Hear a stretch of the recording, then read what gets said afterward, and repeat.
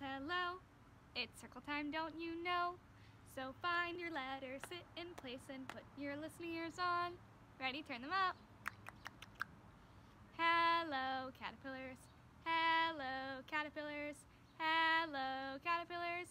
How are you today? Hi, caterpillars at home. It is Miss Lacy. All right, friends, so let's go through who's here today. Roll call. Are you ready? Is Anna Blake here today? Hi, Anna Blake. And is Ben here today? Hi, Ben. Is Cecilia here today? Hi, Cece. Is Drew here today? Hi, Drew. And is Eloise here today? Hi, Eloise. Is Francis here today? Hi, Francis. Is Dylan here today? Hi, Dylan. And is Margot here today? Hi, Margot. Is Owen here today? Hi, Owen. And is Theo here today? Hi, Theo. And is Campbell here today? Hi, Cammy. And is Rio here today? Hi, Rio. All right, friends. I'm glad everyone is here today. So, before we go over our rules, let's go over our weekly theme. Our weekly theme this week is um, insects.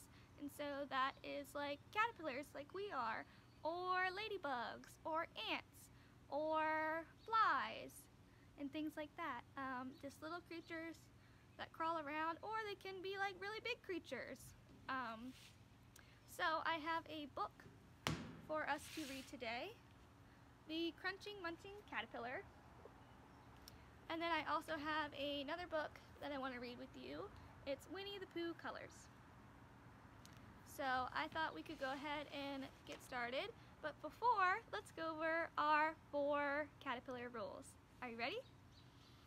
Our first rule, number one, is our walking feet. Walking feet, walking feet. Let's all use our walking feet. Our second rule, number two, is our calm hands. We take off our rough hands and we throw them away. We put on our calm hands. My calm hands are here to stay. Calm hands are here to stay. Our third rule, number three, is our listening ears. We put them on and we turn them all the way up. Our fourth rule, number four, and our final rule, caterpillars, is our inside voices.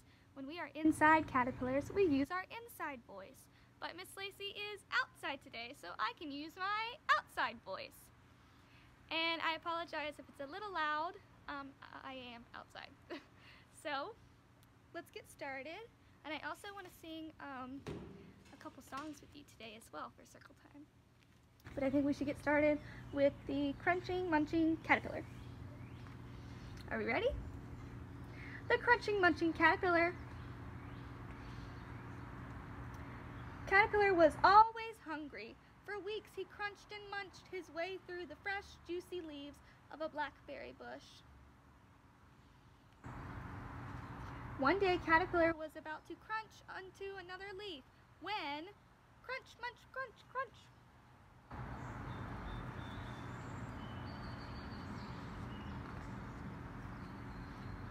Bumblebee landed beside him. Buzz, buzz.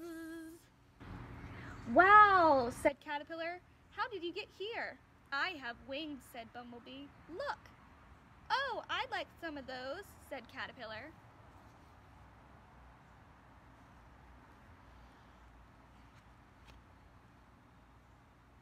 Bumblebee flew up into the air and buzzed from flower to flower. Buzz, buzz, buzz. I'd love to fly like that, said Caterpillar. I'm sorry, Caterpillar, said Bumblebee. You need wings to fly. I guess so, sighed Caterpillar. Buzz, buzz, buzz. Bumblebee flew off to the next bush. Watching Bumblebee fly made Caterpillar very hungry, so he crunched and munched until it was time for bed. Crunch, munch, crunch. Caterpillar woke to the sound of birds chirping and whistling. Birds swooped and soared in the early morning light. Caterpillar was just about to start munching when...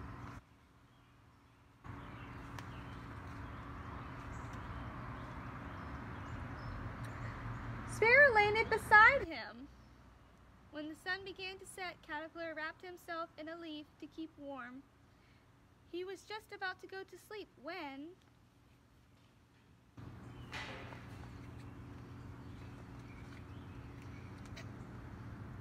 Butterfly landed gracefully beside him. Oh, I wish I could fly like you, sighed Caterpillar, but I don't have wings. Butterfly smiled. Who knows, maybe one day you will, she said. But now, little caterpillar, you should go to sleep. Look, you are very tired.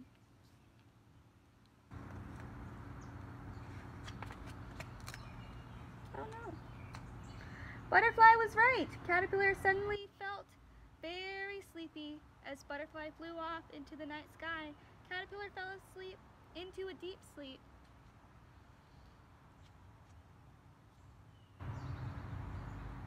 He dreamed he had wings above the tall trees.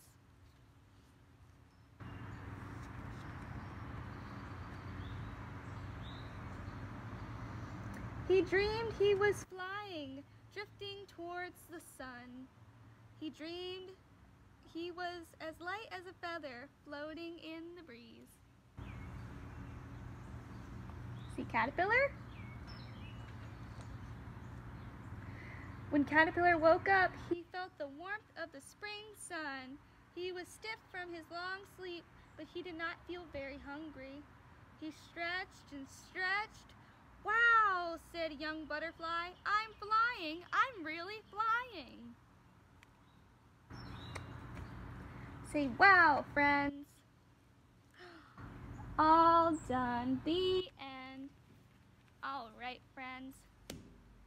So I thought maybe we could read um, this little book right here and learn a little bit about some colors today too, along with our weekly theme. So, are you ready? Winnie the Pooh colors. Christopher Robin has a treat. Lollipops for his friends to eat.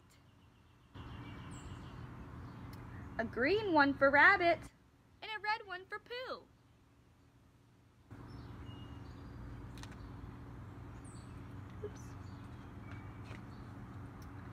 An orange one for Tigger, and a yellow one too. So that makes two lollipops for Tigger. Purple for Eeyore, and Piglet gets pink. Can you say pink, friends?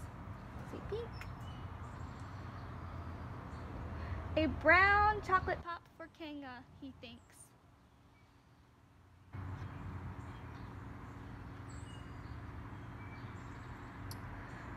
Is the color for Little Roo. Gold butterscotch for Owl. That's who.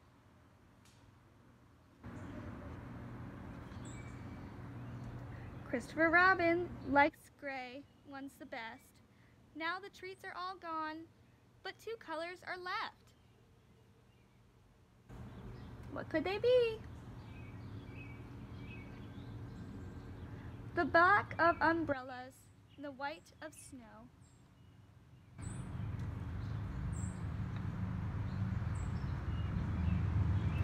Just look at all the colors, you know?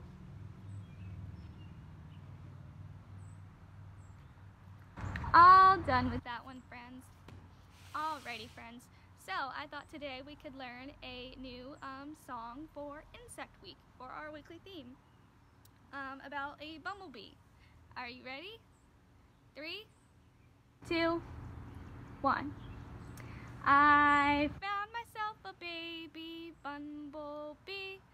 Won't my mommy be so proud of me? I found myself a baby bumblebee. Ouch! He stung me. I'm caring for my baby bumblebee. Won't my mommy be so proud of me? I'm caring for my baby bumblebee. Ouch! He stung me.